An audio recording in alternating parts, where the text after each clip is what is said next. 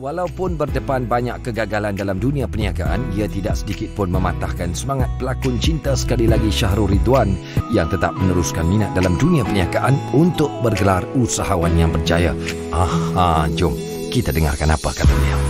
Okey Syahrul, sebelum tu nak ucapkan tahniah lah. Setelah 10 tahun bergiat dalam industri hiburan tanah air, akhirnya keluarnya produk Syahrul. So apa yang Syahrul boleh kongsikan kepada peminat Syahrul di luar sana? Alhamdulillah, terima kasih. Hari ini saya rasa seronok, saya sebangga sebab selepas 10 tahun dalam industri, kebanyakannya saya hanya keluar sebagai duta produk, spokesperson dan hari ini selepas kegagalan-kegagalan bisnes yang sebelum ni, hari ini saya ada dekat sini bersama dengan tim. So Alhamdulillah saya rasa macam best kalau kalau sebelum ni saya dah cuba bermacam-macam. Betul kata orang, kalau kita tak jumpa mentor yang baik, kita tak tahu selok-belok perniagaan, memang kita akan kecundang. Jadi saya anggap ni rezeki saya. Saya berjumpa dengan partner saya. Dia dah lebih 10 tahun dalam industri wangian. Jadi saya rasa ini satu peluang yang baik untuk saya menjana bukan saja pendapatan tapi ilmu daripada dia dan benda tu saya harap saya dapat kongsikan. Bukan saja orang dekat luar sana sebabkan COVID ni yang terjejas, saya sendiri terjejas dan saya memikirkan andainya COVID ini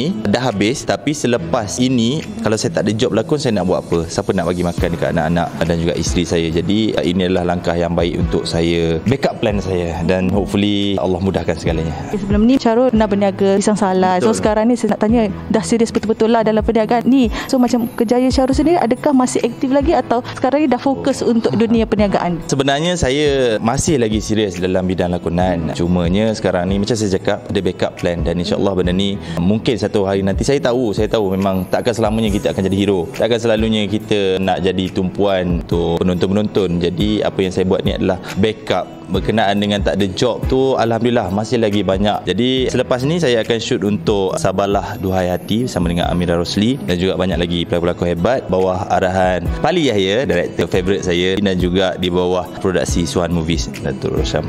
Last kali apa Syarul boleh katakan mungkin untuk perniagaan Syarul sendiri dan juga kepada peminat yang sentiasa menyokong kerjaya Syarul dari segi lakonan mahupun dari segi perniagaan Syarul. Saya nak ucapkan terima kasih banyaklah SR Tigers especially nya dah lebih 10 tahun dah dengan saya daripada awal sampai lah sekarang. Thank you so much you know who you are. Dan juga yang paling penting sekali family saya. Wife saya Dina dan juga anak-anak saya. Diorang lah big why ataupun faktor yang menyebabkan saya terus struggle struggle struggle untuk baiki hidup saya. So harapan saya saya tengah baby step dalam business. Hopefully this is the right thing to do uh, right mentor right knowledge dan juga benda ni saya harap dapat kongsi dan bagi manfaat pada orang luar insyaallah